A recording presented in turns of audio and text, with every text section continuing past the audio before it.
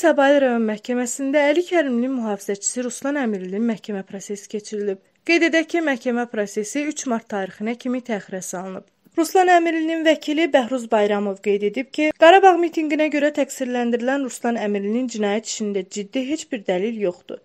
Ruslan Əmirli isə özünü təqsirli bilməyib və ona açılmış cinayət işini Azərbaycan Xalq Cəbhəsi Partiyasının sədri Əli Kərimlinin mühafizəçisi olduğuna görə hakimiyyət tərəfindən cəzalanmaq istəyi kimi qarşılayıb. Qarabağa azadlıq mitinqi zamanı həbs olunmuş cəbhəçilər Səbail rayon məhkəməsinin qərarı ilə sərbəst buraxılıb. Kanal 13 olaraq mövzunu gündəmdə saxlayacağıq.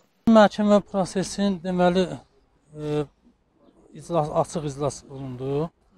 E, ma martın 3-ünə təyin olundu. Martın 3-ü yəni məhkəməyə baxılacaq. Ümumiyyətlə sizə irəli sürülən ittihamlar hansılardır? Valla Milli Məclisin dağıdılmasıdır, sonra zərər çəkən qismində e, iştirak edənlər var, indi o bilinmir, elə onlar ayın 3-ü deyəcək. Nəyə görə zərər çəkib və nə qayıblar, onu bilmirəm.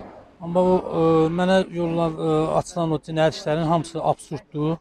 Heç bir mənə heç birisi, heç birisi mənə dəxlisi deyil. Ona görə mən özümü e, Nətər? Təəssürlü, günahsız hiss edirəm. Günahsız sayıram. Mənim bu cinayət işlərimin açılmasının açılması bağlı e, şəxsi, yəni fəaliyyətimlə Xalq Cəbhəsinin üzvü Əlkərimin mühafizəçi olduğum üçün bu cinayət işləri açılıb. Başqa cür, yəni heç cür ola bilməz. İstintaqda da vəsadət vermişdim. Yenə də o fikirdəyəm ki, ümumiyyətlə hər hansı bir formada düzünə deyək, yanaşı deyək, ehtimal eləyək, hər hansı Ruslan Əmirovun işində hər hansı bir sübut yoxdur ki, bu maddələrlə təqsirləndirilsin. Məhkəmə prosesinin gedişində də yəni bu məsələlər aydınlıq gələcək mənim fikrimcə. Mənim fikrimcə ümumiyyətlə iş üzrə bəraət verici əsaslarla xitam verilməlidir.